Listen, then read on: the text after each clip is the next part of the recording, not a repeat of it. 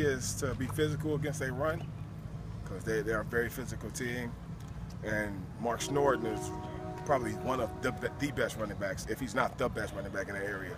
So we definitely got to contain him. I think we have a good chance to win the game. The and rivalry. for the rivalry, you know, it's big. It's Hammond versus Morton. So I know through the years, the last couple years, Morton been winning.